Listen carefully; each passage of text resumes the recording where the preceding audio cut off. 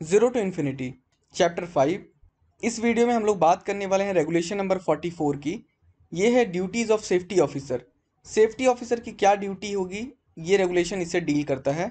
शुरुआत करते हैं सब रेगुलेशन नंबर वन से। सब रेगुलेशन नंबर वन है इसका। The duties of the safety officer shall be. यानी सेफ्टी ऑफिसर की ड्यूटी क्या क्या हो गया बता रहे हैं। क्लॉज ए इसका। To visit surface and underground parts of the mine with a view to meet the workers on the spot to talk to them on matters of safety and invite suggestions thereon यानी safety officer को mine के जो underground वाले part हैं और surface वाले part हैं, उन दोनों जगह पे विज़िट करना है और वहाँ पे जो भी वर्कर्स काम कर रहे हैं, उनसे उनको इंटरेक्ट करना है, उनसे मिलना है, उनसे बातचीत करनी है सेफ्टी एस्पेक्ट में और उनसे जो भी सजेशंस होंगे, उनसे वो सजेशंस लेने हैं। उनसे पूछना है कि क्या समस्या है या आपके व्यू में आप जिस तरीके से काम कर रहे हैं, उसमें क्या खतरा हो सकता है इस खतरे को दूर करने के और क्या किया जा सकता है, इस टाइप के अगर कोई सजेशन मिलते हैं तो वो लेने हैं सेफ्टी ऑफिसर को। क्लॉज बी इसका to take charge of the newly recruited staff and show them around the mine pointing out the safe and unsafe acts during the course of their work in the mine यानी जो भी नए staff आएँगे mines के अंदर में, यानी जिनका नया रिक्रूटमेंट हुआ हो गया, उन पर्सनस को सेफ्टी ऑफिसर के अंडर रहना है। यानी वो पर्सन जो होंगे सेफ्टी ऑफिसर के सुपरविजन में होंगे एक तरीके से, ठीक है? और जब भी वो पर्सन काम कर रहे होंगे माइंस के अंदर में तो उनको पॉइंट आउट करना है सेफ्टी ऑफिसर को कि आप ये जो कर रहे हैं, इसमें इस तरह से करना ये सेफ़ एक्ट है, इस तरह से करना अनसेफ हो सकता है तो ऐसा काम नहीं करें, ऐसा काम करें। तो बेसिकली क्या है कि सेफ्टी की एक ट्रेनिंग देनी है उनको ऑन जॉब ट्रेनिंग देनी है कि जॉब पे जैसे जैसे काम आदमी कर रहा है, नया स्टाफ उसको वो ऑन जॉब ट्रेनिंग दे रहे हैं, बता रहे हैं एक एक एस्पेक्ट उनके काम से रिलेटेड नेक्स्ट क्लॉज सी आता है इसका to investigate all types of accidents and incidents in the mine, including minor accidents, and analyze the same with a view to pinpoint the nature and common causes of the accidents in the mine. यानी safety officer का काम क्या हुआ कि mines में जो भी accident हो या फिर कोई इंसिडेंट हो ठीक है? और अगर कोई छोटे मोटे एक्सीडेंट होते तो वो भी। उन सबको उनको इन्वेस्टिगेट करना है सेफ्टी ऑफिसर को और साथ ही एनालाइज करना है ताकि सेफ्टी ऑफिसर जो भी नेचर और जो कॉमन कॉज ऑफ़ एक्सीडेंट है उसको पिन पॉइंट कर सके। एग्ज़ाम्पल के तौर पे अगर सेफ्टी ऑफिसर के एनालिसिस में निकला कि माइंस में लोग गिर ज़्यादा रहे मतलब गिरने से ज़्यादा चोट लग रही है तो क्या कारण हो सकता है गिरने का? क्या कोई ऐसी जगह है वर्किंग की जहाँ पे जाने आने का रास्ता बड़ा स्लिपरी है?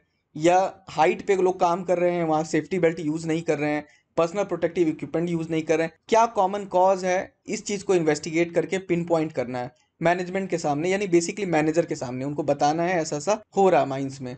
ताकि इसके ऊपर करेक्टिव एक्शंस लिए जा सके। क्लॉज डी इसका कहता है to maintain detail statistics about the mine accidents and to analyse the same with a view to pin point the nature and common causes of the accidents in the mine mines के अंदर में जितने भी accidents होंगे, उनकी statistics को maintain करना है। डिटेल्ड स्टैटिस्टिक्स को मेंटेन करना है। कौन सा एक्सीडेंट हुआ, किस टाइम में हुआ, कब हुआ, किस कारण से हुआ, और इस स्टैटिस्टिक्स को उनको एनालाइज करना है। ताकि जो भी नेचर और कॉमन कॉज है एक्सीडेंट का, उसको वो पिन पॉइंट कर सके। नेक्स्ट पॉइंट है clause E to study and appraise the manager of all possible sources of danger such as inundation fire coal dust and others यानी सेफ्टी ऑफिसर को ये हमेशा अपने रडार में रखना है कि इनंडेशन का फायर का कोल डस्ट एक्सप्लोजन का, या कोई दूसरे टाइप का अगर कोई डेंजर एग्जिस्ट कर रहा है तो मैनेजर को वो तुरंत बताए, तुरंत अप्रेज करे मैनेजर को कि ये पर्टिकुलर टाइप का डेंजर अभी माइंड में एक्टिव हो गया है, इसको यहाँ पे कंट्रोल करना पड़ेगा। नहीं तो अप्रिय घटना हो सकती है फ्यूचर में, कोई एक्सीडेंट हो सकता है फ्यूचर में। क्लॉज एफ़ आता है इसका to hold safety classes and give safety talks and lectures to the members of the supervisory staff safety officer को क्या करने हैं? सेफ्टी क्लासेस लेनी है सेफ्टी टॉक देने हैं और जो सुपरवाइजरी स्टाफ है, उनको लेक्चर देना है। तो जनरली माइंस में ऐसा होता है कि जब भी शिफ्ट की शुरुआत होती है तो सेफ्टी ऑफिसर विज़िट करते हैं। सारे जो भी मैन पावर होता है, वो एकत्रित होता है एक जगह पे तो उनको वो सेफ्टी टॉक देते हैं। उनको बताते हैं कि आज आप काम पे जा रहे हो सेफली काम करना है। और पर्टिकुलरली कोई पुराना एक्सीडेंट हुआ होगा, उसके बारे में वो डिस्क्रिप्शन देते हैं। बताते हैं, यहाँ पे ये वाला एक्सीडेंट हुआ था, उसमें ये ये कारण थे। सब लोगों को मतलब अवेयर करना है एक तरीके से सेफ्टी टॉक के थ्रू सेफ्टी के प्रति उनको जागरूक करना है कि काम को ढंग से करना है, कोई भी घटना ना हो। आपको कुछ भी डेंजर लगता है तो हमें आके बताएँ। कोई भी चीज़ सजेशन है तो आप दें। ये सेफ्टी टॉक के अंदर में सेफ्टी क्लासेस के अंदर में इस टाइप का इंटरेक्शन चलता है, जो भी मैन पावर होते हैं उनके साथ में। नेक्स्ट क्लॉज आता है G to organise safety weeks and other safety education and propaganda programmes in the mind safety officer को सेफ्टी वीक का ऑर्गेनाइज कराना है। और जो दूसरे तरह की सेफ्टी एजुकेशन से रिलेटेड जो प्रोपेगेंडा प्रोग्राम है, उसको ऑर्गेनाइज कराना माइंड में। सेफ्टी वीक जो होता है, माइंस में हर साल में एक बार मनाया जाता है सात दिनों के लिए। यानी पूरा सप्ताह चलता है, सुरक्षा सप्ताह। और साल के जो बाकी दिन होते हैं, उनमें सेफ्टी एजुकेशन से रिलेटेड कोई ना कोई ड्राइव चलती रहती है, या कोई प्रोपेगेंडा प्रोग्राम चलता रहता है। और क्या है कि सेफ्टी ऑफिसर जनरली माइंस में जगह जगह पर स्लोगन लिखवा देते हैं। एग्ज़ाम्पल के लिए जूता टोपी पहन के ही काम पे जाएँ। यानी पर्सनल प्रोटेक्टिव इक्विपमेंट पहन के जाएँ अपना काम बहुत ध्यान से करें ड्यूटी पे सोए नहीं नशा नहीं करके जाएँ इस तरह के जो सेफ्टी अवेयरनेस और सेफ्टी प्रोपेगेंडा वाले प्रोग्राम होते हैं उनको इनको कंडक्ट कराते रहना इनको टाइम टू टाइम ठीक है नेक्स्ट क्लॉज एच आता है to see that all concern mine employees are fully conversant with various standing orders such as those relating to stoppage of mine mechanical ventilators and to the occurrence of a fire or other emergency in the mine, codes of practices and support plan. Safety officer को ये देखना है कि mines के जितने भी employees हैं, वो माइंस के अंदर में जितने भी अलग अलग तरीके के स्टैंडिंग ऑर्डर्स हैं, उनसे वो फुली कन्वर्सेंट है। यानी जो भी स्टैंडिंग ऑर्डर्स हैं, उनकी डिटेल सबको पता है कि नहीं पता है। जैसे मेन मैकेनिकल वेंटिलेटर है, जो माइन का मेन फ़ैन है, अगर वो रुक जाता है तो हर इम्प्लॉय को क्या करना है? उसके बारे में सबको पता है कि नहीं पता है। एग्ज़ाम्पल के तौर पे स्टैंडिंग ऑर्डर में जनरली ऐसा होता है कि अगर मेन मैकेनिकल वेंटिलेटर रुक जाता है तो उस पर्टिकुलर केस में अगर 30 मिनट के अंदर वो चालू नहीं होता है तो उन सबको जो मेन एयरवे होती है इनटेक एयरवे उनमें उनको आ जाना होता है।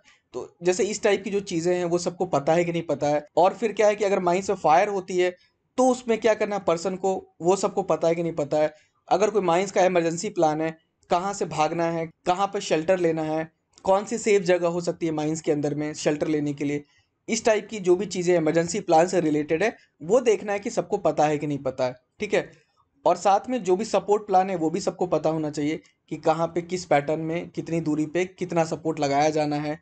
और जो अदर कोड ऑफ़ प्रैक्टिसेस हैं, यानी जो भी इम्प्लॉय काम करते हैं, उनको उनसे रिलेटेड जो भी कोड ऑफ़ प्रैक्टिस है, यानी जो कहते हैं ना, एक स्टैंडर्ड ऑपरेटिंग प्रोसीजर होता है एसओपी वो उनको पता है कि नहीं पता है इस काम को करने का ये सही तरीका क्या है। कोड ऑफ़ प्रैक्टिस उनको पता होना चाहिए। ऐसा उनको देखना है बेसिकली माइंस में।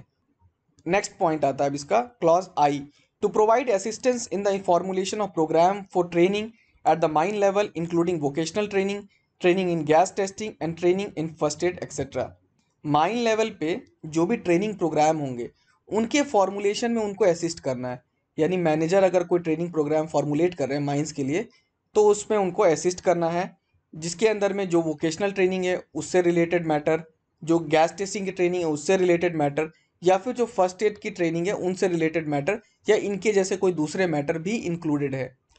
फिर आता है clause number J to report to the manager as a result of his visits to the various parts of mind as to whether the provisions of the act and the rules and regulations made thereunder are being complied with in the mind यानी safety officer जब भी mines में visit करेंगे तो उनको ये observe करना है पहली चीज़ की कि माइंस के वेरियस पार्ट्स में एक्ट रूल्स और रेगुलेशंस के अंदर में जो भी बने हुए प्रोविजंस हैं, उनका कंप्लायंस हो रहा है कि नहीं हो रहा है? वहाँ पे जो लोग काम कर रहे हैं, वो उसको कंप्लाई कर रहे हैं कि नहीं कर रहे हैं? या फिर माइंस के लिए अगर कोई प्रोविज़न है तो वो इट सेल्फ कंप्लाइड है कि नहीं है? तो ये वाली जो इन्फॉर्मेशन है, उनको वो पास ऑन करनी है मैनेजर को। मैनेजर को अप्रेस करना है। मैनेजर को हमेशा टाइम टू टाइम बताते रहना है कि हमने आज विज़िट की थी तो हमें ये चीज़ दिखी कि वहाँ पे कॉक लगाना पड़ेगा। वहाँ पे सपोर्ट इनसफिशियंट है। जैसे इस टाइप का उन्होंने एक ऑब्जर्वेशन दे दिया। तो मैनेजर क्या उस पर तुरंत एक्ट करेंगे। मैनेजर सेफ्टी को इम्प्रूव करने की कोशिश करेंगे और तुरंत एक्शन के थ्रू अपने। इस टाइप का जॉब सेफ्टी ऑफिसर को करना है, ये उनकी ड्यूटी है। नेक्स्ट पॉइंट आता है के clause K to promote safe practice generally and to lend active support to all measures intended for furthering the cause of safety in the mine and follow up measures for compliance to the recommendations of the safety committee and workmen's inspector. Safety officer को क्या है generally safe practices को promote करना है। कि safe तरीके से कोई काम कैसे किया जाए, इस चीज़ को प्रमोट करना है, इस चीज़ को हर आदमी को बताना है उनको और उनको अपना एक्टिव सपोर्ट एक्सटेंड करना है ऐसे किसी भी कॉज के लिए जो कि माइंस की सेफ्टी को बढ़ावा देने के काम में आती है, ठीक है? और साथ ही साथ क्या करना है उनको, जो भी सेफ्टी कमेटी की रिकमेंडेशन है या वर्कमैन इंस्पेक्टर्स की रिकमेंडेशन है, उनको इम्प्लीमेंट कराना, उनकी रिकमेंडेशन को इम्प्लीमेंट कराना और इस जो इम्प्लीमेंटेशन का प्रोसेस है, उसका फॉलोअप लेना है कि ये चीज़ कंप्लाई हुई है कि नहीं हुई है। Clause L to assist the manager in any other matter relating to safety in the mind यानी ऊपर जो भी बताए गए हैं, उनके अलावा अगर कोई दूसरा सेफ्टी का मैटर है तो उसमें भी उनको मैनेजर को असिस्ट करना है। मैनेजर को सजेशन देने हैं मैनेजर को बताना है। अगर उनके ऑब्जर्वेशन में, उनके ओपिनियन में अगर कुछ लगता है ऐसा तो कि सेफ्टी को और फर्दर इम्प्रूव कैसे किया जा सकता है। अब इसका सब रेगुलेशन टू आता है। The safety officer shall ensure that an appropriate emergency plan as required under these regulation is put in place and the requirements of the same are implemented safety officer को ये ensure करना है कि इस regulations के अंदर में जो इमरजेंसी प्लान रिक्वायर्ड है, वो इमरजेंसी प्लान्स क्या है, रखे हुए अपनी अपनी जगह पे। यानी वो इमरजेंसी प्लान बना लिए गए हैं बेसिकली और जो इमरजेंसी प्लान की रिक्वायरमेंट्स है, वो इम्प्लीमेंट हो गए हैं सही से।